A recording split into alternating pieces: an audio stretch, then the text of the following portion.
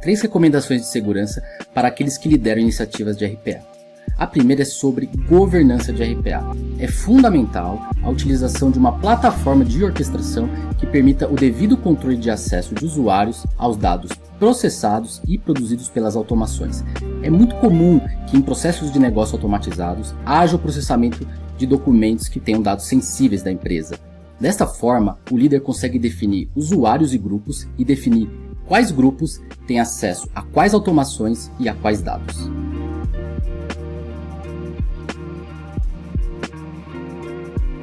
É muito comum que durante a sua execução as automações precisem salvar no ambiente de execução documentos, planilhas e contratos que podem ter dados sensíveis da empresa. É fundamental que no final da execução da automação ela faça a exclusão desses documentos.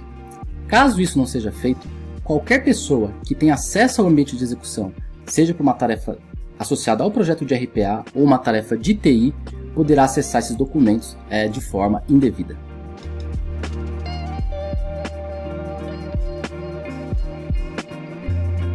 Jamais credenciais de acesso a sistemas devem estar disponíveis nos códigos das automações. É muito importante utilizar uma plataforma de gestão de credencial que permita o acesso dinâmico a elas durante a execução da automação.